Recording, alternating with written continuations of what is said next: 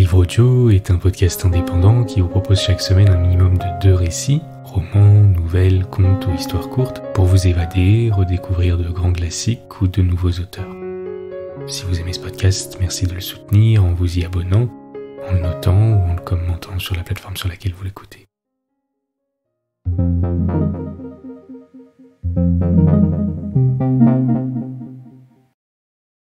Donatien Alphonse François de Sade, La châtelaine de Longeville ou La femme vengée. Au temps où les seigneurs vivaient despotiquement dans leurs terres, dans ces temps glorieux où la France comptait dans son enceinte une foule de souverains, vivait au milieu de ces domaines le seigneur de Longeville, possesseur d'un assez grand fief en Champagne il avait avec lui une petite femme brune, espiègle, fort vive, jolie, mais friponne et aimant passionnément le plaisir. La dame châtelaine pouvait avoir vingt-cinq à vingt-six ans, et monseigneur trente tout au plus, tous deux mariés depuis dix ans, et tous deux très en âge de chercher un peu de distraction aux ennuis de l'hymen, tâchés à se pourvoir dans le voisinage du mieux qu'il leur était possible. Le bourg, ou plutôt le hameau de Longeville, offrait peu de ressources. Cependant, une jeune fermière avait trouvé le secret de plaire à monseigneur, et depuis deux ans il s'en arrangeait le plus commodément du monde. Louison, c'était le nom de la tourterelle chérie, venait tous les soirs coucher avec son maître par un escalier dérobé, ménagé dans une des tours qui avoisinaient l'appartement du patron. Et le matin, elle décampait avant que madame n'entrât chez son époux, comme elle avait coutume de le faire pour le déjeuner. Madame de Longeville n'ignorait nullement la petite conduite incongrue de son mari, mais comme elle était bien aise de se divertir aussi de son côté, elle ne disait mot. Il n'y a rien de si doux que les femmes infidèles, elles ont tant d'intérêt à cacher leurs démarches qu'elles examinent celles des autres infiniment moins que les prudes. Un meunier des environs nommé Colas, jeune drôle de dix-huit à vingt ans, blanc comme sa farine, musclé comme son mulet, et joli comme la rose qui croissait dans son petit jardin, s'introduisait chaque soir comme Louison dans un cabinet voisin de l'appartement de madame, et bien promptement au fond du lit quand tout était tranquille dans le château. On ne pouvait rien voir de plus tranquille que ces deux petits ménages. Sans le démon qui s'en mêla, je suis sûr qu'on les aurait cités comme des exemples à toute la Champagne. Ne riez point, lecteur, non, ne riez point de ce mot exemple. Au défaut de la vertu, le vice bien décent et bien caché peut servir de modèle. N'est-il pas aussi heureux qu'adroit de pécher sans scandaliser son prochain, et dans le fait de quel danger peut être le mal quand il n'est pas su? Voyons, décidée, cette petite conduite tout irrégulière qu'elle était, ne se trouve-t-elle pourtant pas préférable au tableau que les mœurs actuelles peuvent nous offrir? N'aimez-vous pas mieux le sire de Longeville durement étendu sans bruit dans les deux jolis bras de sa jolie fermière, et sa respectable épouse au sein d'un beau meunier dont personne ne sait le bonheur, qu'une de nos duchesses parisiennes changeant de partenaire tous les mois? Ou se livrant à ses valets pendant que monsieur mange deux cent mille écus par an avec une de ces méprisables créatures que déguise le luxe, qu'avilit la naissance et que la vertu corrompt. Je le dis donc sans la discorde dont les poisons distillèrent bientôt sur ces quatre favoris de l'amour, rien de plus doux et de plus sage que leur joli petit arrangement mais le sire de Longeville, qui avait comme beaucoup d'époux injustes la cruelle prétention d'être heureux et de ne pas vouloir que sa femme le fût, le sire de Longeville, qui s'imaginait comme les perdrix que personne ne le voyait parce qu'il avait la tête à couvert, découvrit l'intrigue de sa femme et la trouva mauvaise, comme si sa conduite à lui n'autorisait pas pleinement celle qu'il s'avisait de blâmer. De la découverte à la vengeance, il n'y a pas loin dans un esprit jaloux. Monsieur de Longeville se résolut donc de ne rien dire, et de se débarrasser du drôle qui flétrissait son front. Être cocu, se disait-il tout seul, par un homme de mon rang, soit, mais par un meunier, oh monsieur Colas, vous aurez la bonté, s'il vous plaît, d'aller moudre à d'autres moulins. Il ne sera pas dit que celui de ma femme s'ouvre davantage à votre semence. Et comme la haine de ces petits despotes suzerains était toujours fort cruelle, comme ils abusaient souvent du droit de vie et de mort que les lois féodales leur accordaient sur leurs vassaux, Monsieur de Longeville ne se résolut à rien moins qu'à faire jeter le pauvre Colas dans les fossés pleins d'eau qui environnaient son habitation.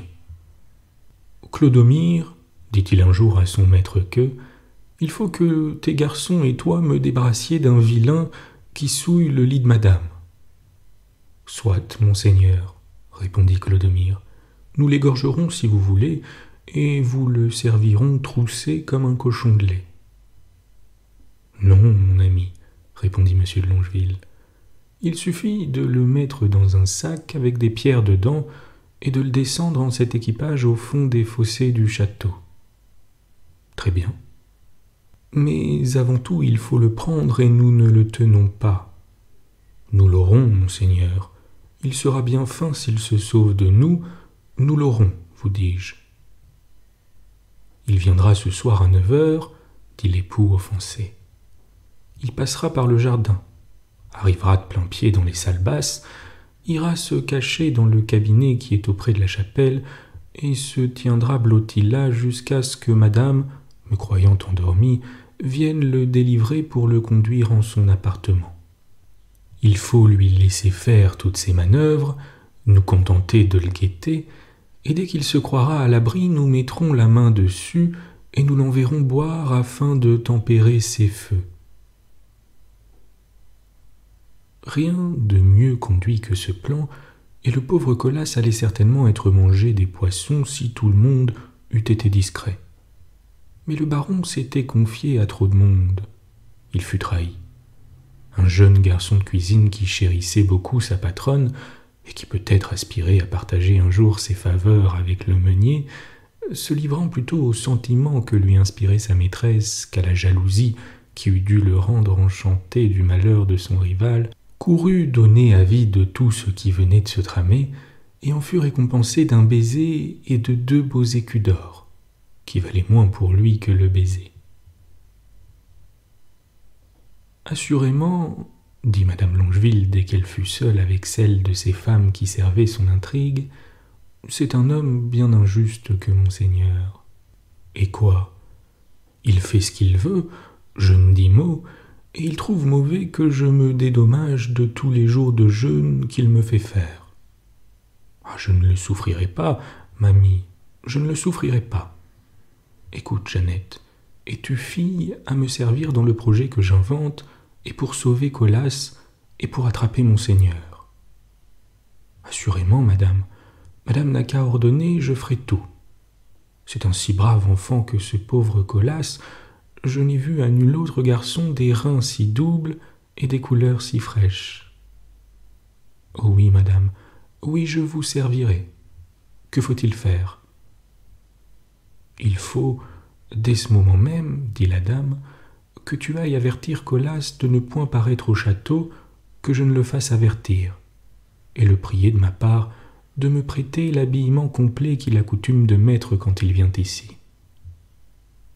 Dès que tu tiendras ce vêtement, Jeannette, tu iras trouver Louison, la bien-aimée de mon perfide, et tu lui diras que tu viens à elle de la part de Monseigneur, qui lui fait enjoindre de se vêtir des habits que tu auras dans ton tablier, de ne plus venir par son chemin ordinaire, mais par celui du jardin, de la cour et des salles basses, et d'aller, aussitôt qu'elle sera dans la maison, se cacher dans le cabinet qui est à côté de la chapelle, jusqu'à ce que monsieur vienne la chercher et aux questions qu'elle te fera sans doute sur ces changements, tu lui diras que cela vient de la jalousie de madame, qui a tout su et qui l'a fait guetter par le chemin qu'elle a coutume de prendre ordinairement. Si elle s'effraye, tu la rassureras, tu lui feras quelques présents et tu lui recommanderas bien surtout de ne pas manquer de venir parce que monseigneur a ce soir des choses de la plus grande conséquence à lui dire, relativement à tout ce qui a suivi la scène de jalousie de madame. Jeannette part, elle remplit ses deux commissions au mieux, et à neuf heures du soir, c'est la malheureuse Louison, sous les habits de Colas, qui se trouve dans le cabinet où l'on veut surprendre l'amant de madame. Avançons, dit M. de Longeville à ces gens qui non plus que lui n'avaient cessé d'être aux aguets. Avançons, vous l'avez vu comme moi, mes amis, n'est-ce pas? Oui, monseigneur. Parbleu, c'est un joli garçon. Ouvrez lestement la porte, jetez-lui des serviettes sur la tête pour l'empêcher de crier, enfoncez-le dans le sac et noyez-le sans autre forme de procès. Tout s'exécute au mieux, on bouche tellement l'organe de l'infortunée captive qu'il lui est impossible de se faire reconnaître. On l'enveloppe dans le sac au fond duquel on a eu soin de mettre de grosses pierres, et par la même fenêtre du cabinet où s'est fait la prise, on la précipite au milieu des fossés. L'opération faite, tout le monde se retire, et M. de Longeville gagne son appartement très empressé d'y recevoir sa donzelle qui, selon lui, ne devait pas tarder de venir, et qu'il était bien loin de croire si fraîchement placée. La moitié de la nuit se passe et personne ne paraît. Comme il faisait un très beau clair de lune, notre amant inquiet imagine d'aller voir lui-même au logis de sa belle quel motif pouvait l'arrêter. Il sort, et pendant ce temps-là, madame de Longeville, qui ne perdait rien de ses démarches, vient s'établir dans le lit de son mari. Monsieur de Longeville apprend chez Louison qu'elle est partie du logis comme à l'ordinaire et qu'assurément elle est au château. On ne lui dit rien du déguisement parce que Louison n'en avait fait la confidence à personne et qu'elle s'était évadée sans qu'on la vît. Le patron revient, et la bougie qu'il avait laissée dans sa chambre se trouvant éteinte, il va prendre près de son lit un briquet pour la rallumer. En s'en approchant, il entend respirer. Il ne doute pas que sa chère Louison ne soit venue pendant qu'il allait la chercher, et qu'elle s'est couchée d'impatience ne le voyant point dans son appartement. Il ne balance donc point, et le voilà bientôt entre deux draps caressant sa femme avec les mots d'amour et les expressions tendres dont il avait coutume de se servir avec sa chère Louison. Que tu m'as fait attendre, ma douce mie. Où donc étais-tu, ma chère Louison? Perfide, dit alors madame de Longeville en découvrant la lumière d'une lanterne sourde qu'elle tenait cachée. Je ne puis donc plus douter de ta conduite. Reconnais ton épouse, et non la catin à qui tu donnes ce qui n'appartient qu'à moi. Madame, dit alors le mari sans s'étourdir, je crois que je suis maître de mes actions, quand vous-même vous me manquez aussi essentiellement. Vous manquez, monsieur, et en quoi je vous prie? Ne sais-je pas votre intrigue avec Colas, un des plus vils paysans de mes terres? Moi, monsieur, répond arrogamment la châtelaine. Moi m'avilir à ce point Vous êtes un visionnaire. Il n'exista jamais un mot de ce que vous dites, et je vous défie de m'en donner des preuves. Il est vrai, madame, que cela serait difficile actuellement, car je viens de faire jeter à l'eau ce scélérat qui me déshonorait, et vous ne le reverrez plus de vos jours. Monsieur, dit la châtelaine avec encore plus d'effronterie, si vous avez fait jeter ce malheureux à l'eau sur de tels soupçons, assurément vous êtes coupable d'une grande injustice. Mais si, dites-vous, il n'est ainsi puni que parce qu'il venait dans le château, j'ai bien peur que vous ne vous soyez trompé, car il n'y mit jamais les pieds de sa vie. En vérité, madame, vous me feriez croire que je suis fou. Éclaircissons, monsieur, éclaircissons. Rien n'est plus aisé. Envoyez vous-même Jeannette que voilà chercher ce paysan dont vous êtes si faussement et si ridiculement jaloux, et nous verrons ce qui en sera. Le baron consent, Jeannette part, elle amène Colas bien stylé. Monsieur de Longeville se frotte les yeux en le voyant. Il ordonne aussitôt à tout le monde de se lever et d'aller reconnaître au plus vite quel est donc en ce cas l'individu qui l'a fait jeter dans les fossés. On vole, mais ce n'est qu'un cadavre qu'on rapporte, et c'est celui de la malheureuse Louison qu'on expose aux yeux de son amant. Juste ciel, s'écrie baron. Une main inconnue agit dans tout ceci, mais c'est la Providence qui la dirige. Que ce soit vous ou qui l'on voudra, madame, qui soit la cause de cette méprise, je renonce à l'approfondir. Vous voilà débarrassé de celle qui vous causait des inquiétudes, défaites-moi de même de celui qui m'en donne, et que dès l'instant qu'Olas disparaisse du pays. Y consentez-vous, madame Je fais plus, monsieur. Je me joins à vous pour le lui ordonner. Que la paix renaisse entre nous, que l'amour et l'estime y reprennent leurs droits, et que rien ne puisse les en écarter à l'avenir.